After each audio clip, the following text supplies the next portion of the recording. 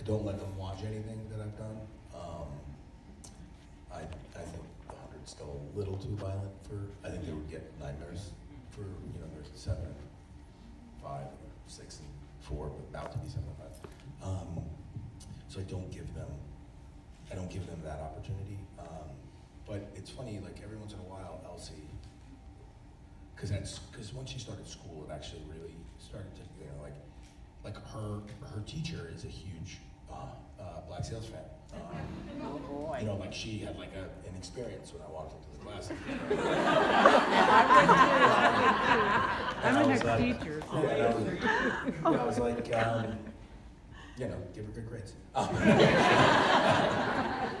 Um, uh, no, but uh, so I think that element of it, they're they're aware of it, but I I try to like every once in a while, like Elsie will be like, like I'll hear her talking with someone, and she'll be like, I'll hear her be like, my dad's famous, and I'm like, I'm like, you're in timeout, go up to your room. Um, and she's like, what? And I'm like, I told you, like, when you sound like a brat and you're doing that, that's just like, don't, you know, be respectful and don't, you know, that's not, that's not cool. Don't be like, "Nah, nah, nah, nah, nah, nah, nah, nah," like, you know, like, like that's, you know. Uh, so I, I, I, I do that. Um, Nellie, uh, my youngest, uh, isn't quite as aware of it yet, um, but she is. Um, you know, like they're, like th- to them, they're like, mostly they're just like, why do people want to talk to you in the grocery store? you know, like, I would. yeah, I'm like, I don't. Chase them in the grocery You know, store.